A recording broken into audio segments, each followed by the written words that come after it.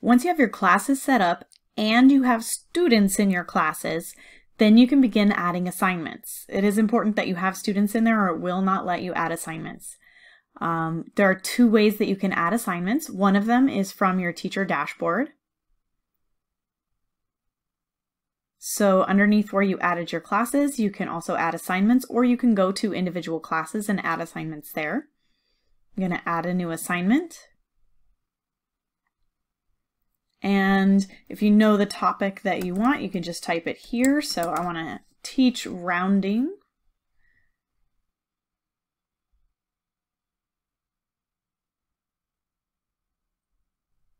And I want my students to watch the movie on rounding. And I would like them to do the vocabulary on rounding and do the related reading on rounding. I press next.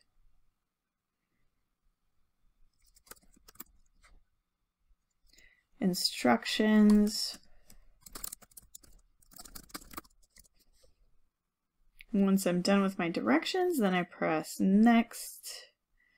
And then I can decide which classes, which class or classes I want to complete this assignment and the due date for the assignment.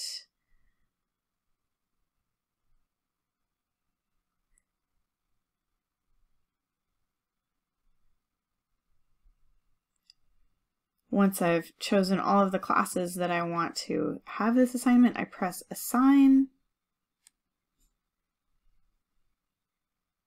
And if I want to put this in Canvas or Google Classroom, I can copy the assignment link here. I need a different link for period one and period two, so I want to make sure that I pay attention to that when I'm copying to Canvas or Google Classroom. And then I press OK, and I am done with my assignment. But if I don't already know what those assignments look like, this might not be the best place for me to build my assignment because um, I might want to just take a look at what's available first. So I can come to just the main BrainPOP page and search. So let's say I want to teach a lesson on the Supreme Court. So I just search for Supreme Court and I see three topics here related to the Supreme Court. That means that I'll have videos, related reading, games, and then I see all of these games listed. So I can check each of those out and see what interests me. And after checking those out, I know that I'm interested in the Sortify with the US Constitution, the Argument Wars, Supreme Court topic, and the branches of government topic. So I'm going to put those all into an assignment. I don't have to go all the way back to my dashboard to put those into an assignment though. I can go straight from these topics themselves. So let's say I've gone to Argument Wars and I've checked it out. I'm right here at Argument Wars, which is a really cool game, by the way. The kids uh, play lawyers and they have argument cards and they have to play the cards with the arguments that best advance their case and they get points for advancing their case as best they can. Really cool, fun game. I ran across it while looking at a critical thinking lesson.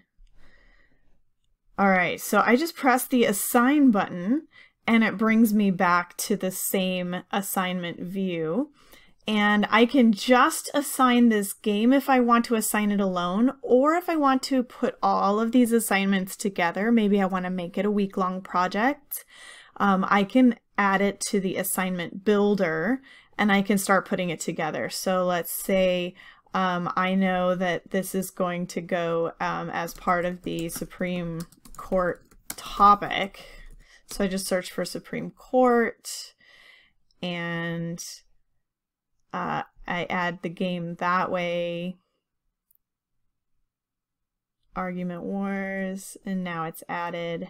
And I already know I want them to watch the Supreme Court movie, and I want them to do the review quiz, as well as the related reading and the graphic organizer for this. So now I've got all of that added. And I also was interested in having them do the Sortify for the US Constitution, so I can go ahead and add that here. And I wanted them to do the branches of government. And notice it automatically selected related topics for me, so I don't even have to remember the other topic that I wanted.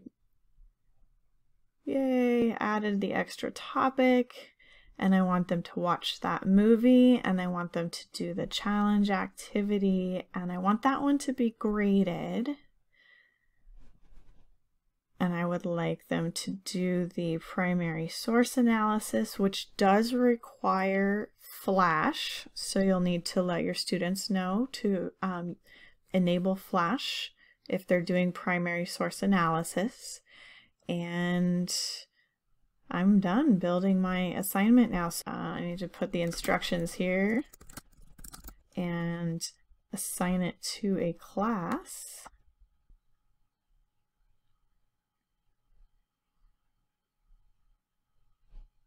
Give it a due date and press assign. And now I have created my assignment. So we have two ways to assign it. We can assign straight from the dashboard if we already know what it is that we want to assign, or we can explore through the main BrainPOP page and then start assigning from there and get to the assignment builder that way. Happy brain popping, everybody!